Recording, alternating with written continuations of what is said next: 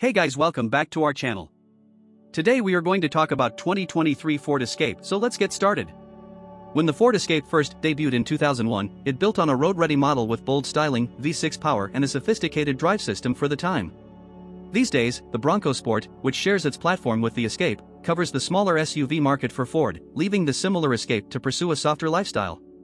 Front-wheel drive is standard and all-wheel drive is still available, but there is nothing difficult about the rest of the package, which can have any of the two hybrid powertrains a plug as well. Then a turbocharged 3 or 4-cylinder engine. The design of the Escape is beautiful, its cabin is spacious for people and cargo, but not too high. Performance is average for the class, but if you are a person who likes to drive somewhere, you will find many things that appeal to rivals such as Mazda CX-50 and Volkswagen Tiguan. What's new for 2023? Ford gave the Escape a stunning new facelift for 2023, featuring a larger grille that features the brand's iconic grille. Hand market on the bonnet and front and a number of new wheel models are used on the sides. Gone are the S, SEL and titanium trims for good in favor of new models that include the Active, ST Line and Platinum models.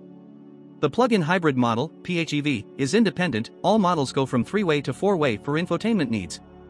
A 4-way infotainment system with over-the-air updates and a larger 13.2-inch infotainment screen is optional. All models have an 8.0-inch digital display, which can be increased to a larger 12.3-inch unit on some models. ST Line offers a sporty look, although it is a cosmetic.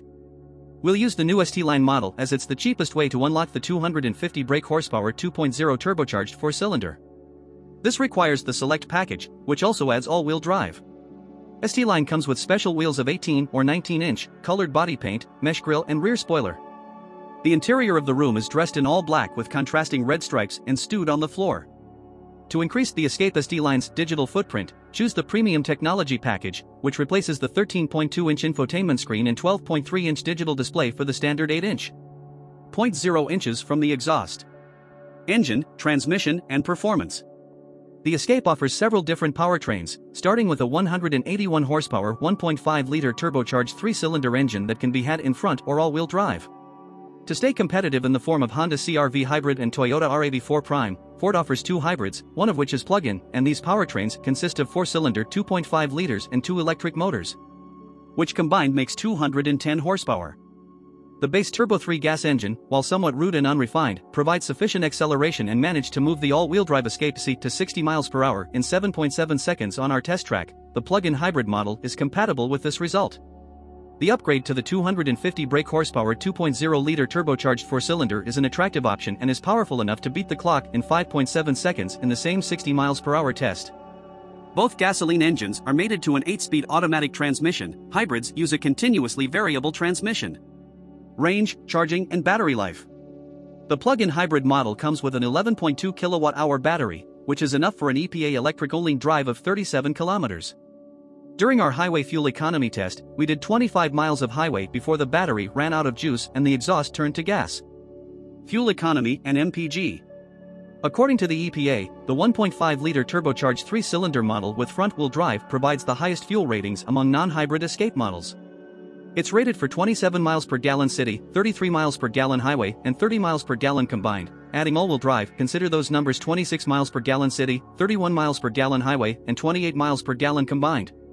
We tested the prototype with the turbocharged 3-cylinder and managed a whopping 35 miles per gallon during our 75 miles per hour fuel economy run.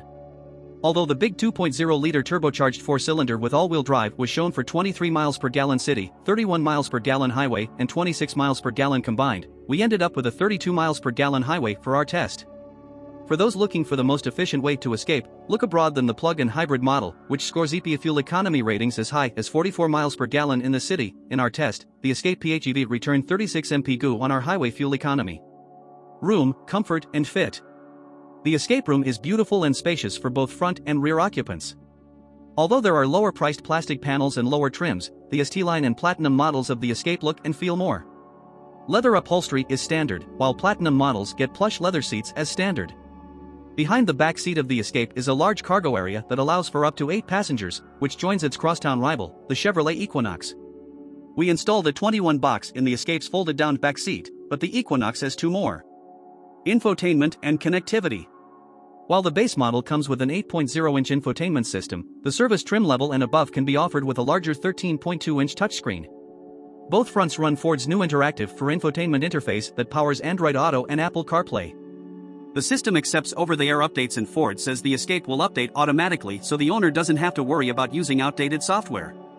A 10-inch B and amp, O. Play audio system, in-dash navigation, a head-up display, and a 12.3-inch digital touchscreen display are optional features. Safety and driving assistance services.